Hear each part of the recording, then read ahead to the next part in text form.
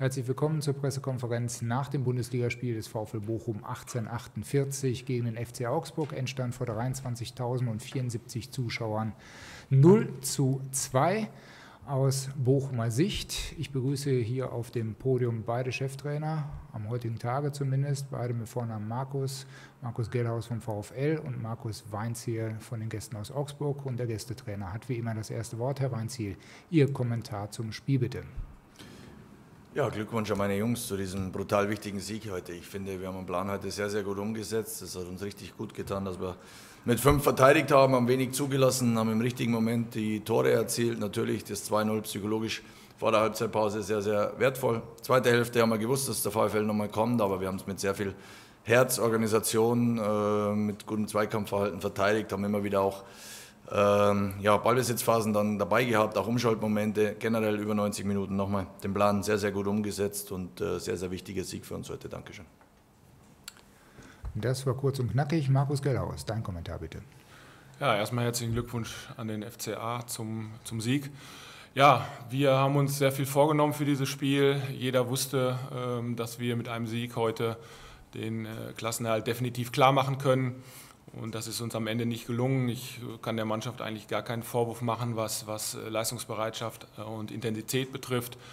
Ähm, aber wir waren dann im Spielaufbau, in, im, im, Übergangsspiel und vor allen Dingen im letzten Drittel zu ungenau, haben zu viele Fehler gemacht, um da entscheidend äh, den Gegner ja, vor Probleme zu stellen. Und äh, das, denke ich, war heute der Knackpunkt neben den äh, Fehlern, die dann natürlich auch dann zu, zu, zum 1-0 zum Beispiel geführt haben.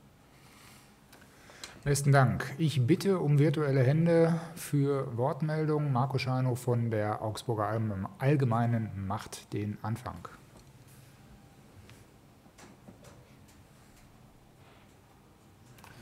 Noch sind Sie gemutet.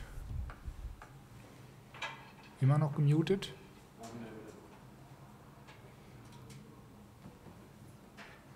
Jetzt bin ich jetzt zu hören? Jetzt sind Sie zu hören. Ah, hallo Herr Weinzer. Hallo. Glück, Glückwunsch zum Sieg natürlich. Und äh, Sie haben es gerade schon selbst gesagt, die Defensivleistung war heute, glaube ich, mitentscheidend, dass die so gut funktioniert hat. Können Sie noch mal ein Wort vielleicht auch speziell zu Reese Oxford und zu Jeffrey Hoveleo heute sagen, wie Sie mit den beiden zufrieden waren? Und welche Bedeutung hat der Sieg jetzt äh, im Abstiegskampf? Jetzt, sind ja, jetzt haben Sie ja ein recht gutes Polster angesammelt.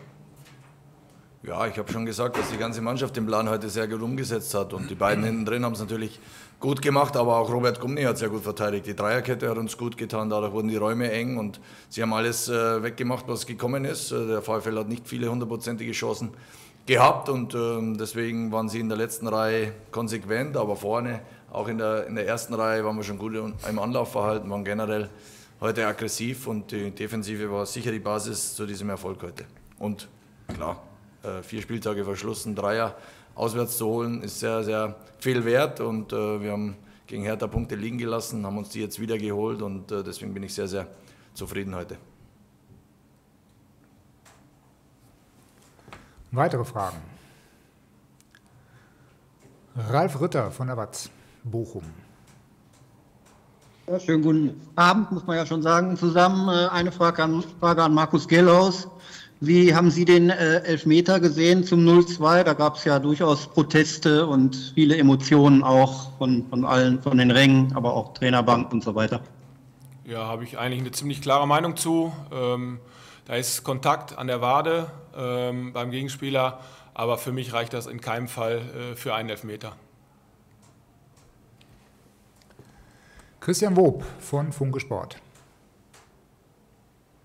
Frage an Herrn Gellaus. Ähm, hatten Sie schon Kontakt zu Maxim Leit? Ähm, falls ja, wie hat er ähm, ja, seinen Fehler jetzt irgendwie im Nachhinein ähm, ja, aufgenommen? Wie geht er damit um? Und falls nicht, ist das grundsätzlich so ein Typ, ähm, der jetzt viel Zuspruch braucht oder kann er das selber ganz gut abschütteln, dass ihm jetzt dieses Missgeschick passiert ist?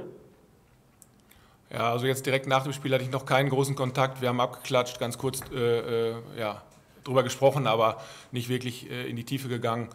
Ähm, Maxim äh, spielt äh, eine sehr, sehr gute Saison und ähm, dieser Fehler ist natürlich in dem Moment ärgerlich, aber äh, ja, es ist menschlich, er ist ein junger Spieler und ähm, da muss man immer mal mit rechnen, dass so etwas passiert. Ist ärgerlich in der Situation, keine Frage, aber das wird ihn nicht umwerfen. Weitere Fragen eurerseits? Wieder Ralf Ritter von der Watz. Ja, ich wollte zum Elfmeter eigentlich direkt nachfragen. Ähm, viele, also ich zumindest auch, habe den VAR-Check vermisst. Ging euch das auch so oder? Nee, ich denke, dass das durch den VAR gescheckt worden ist. Also zumindest hat es mir der Schiedsrichter Ja? gesagt. Ja. Ah, okay, habe ich nicht mitgekriegt. Alles klar. Moritz Kreilinger, von welchem Medium auch immer. Vom Kicker. Hallo, Herr Weinziel. Michael Gregoritsch hat nach dem Spiel gesagt, dass die Stimmung in der Woche so ein bisschen schwierig gewesen sei, weil auch so der Druck natürlich im Abstiegskampf jetzt größer wird oder wurde. Er aber sehr erleichtert war, dass wirklich die Mannschaft jetzt auf den Punkt heute ähm, motiviert war und heute so eine Leistung abgeliefert hat. Was haben Sie also konkret gemacht, damit die Mannschaft heute genau zu diesem Zeitpunkt so auf den Punkt da war und diese Leistung bringen konnte? Naja, ist doch klar, dass die Mannschaft enttäuscht war nach dem Hertha-Spiel. Wir haben in der Woche vorher eine super englische Woche gespielt mit zwei Heimsiegen, mit einem guten Bayern-Spiel, wo wir 0-1 verloren haben, wo wir gelobt worden sind, aber haben es dann gegen Hertha nicht auf den, auf den Platz gebracht, weil es so ein Spiel war, wo du ja so einen wichtigen Schritt am Silbertablett hast und äh, jeder sagt, ja, das müssen wir jetzt gewinnen und dann äh, bleibst du in der Liga, aber das haben wir eben nicht geschafft. Auch äh, wegen der Wertigkeit dieses Spiels sind wir einfach nicht an unser Limit gekommen. Und dass dann die Mannschaft, die Jungs enttäuscht waren, das war auch ganz normal und habe ich auch so erwartet. Aber wir haben Gespräche geführt, viele Gespräche geführt und haben äh, trainiert und äh, haben nochmal heute das Spiel rausgestrichen, dass wir eben uns diese drei Punkte wiederholen können, die wir zu Hause liegen gelassen haben. Deswegen war die Enttäuschung normal und äh, mich freut einfach nur diese Reaktion heute auf dem Platz, weil wir uns über 90 Minuten ähm, ja, ein Spiel gekämpft haben und uns belohnt haben. Christian Wob nochmal. Ähm, ja, eine Frage nochmal an Herrn Gellhaus. Ähm, Simon Zoller stand ähm, doch irgendwie für viele hier überraschend in der Startformation. Was war der Grund dafür? Weil Freitag ähm, hatte Thomas Reiter noch gesagt, dass das Spiel heute vielleicht ein wenig zu früh noch käme, um von Anfang an zu spielen. Ja, der Simon hat äh, eine gute Trainingswoche hingelegt und ähm, unser Plan war, dass wir äh, den Gegner sehr früh, sehr hoch unter Druck setzen, was wir natürlich häufig tun. Aber Simon hat natürlich nochmal eine besondere äh, Energie im Anlaufen, äh, eine eine sehr gute Dynamik und ähm, ja, äh, dann auch im Spiel mit dem Ball. Er ist ein schlauer Spieler, der viele Situationen gut auflösen kann. Und äh, das waren so ein bisschen so die Gründe, warum wir uns dazu entschlossen haben, ihn von Anfang an zu bringen um da auch direkt gut ins Spiel zu kommen. Weitere Fragen?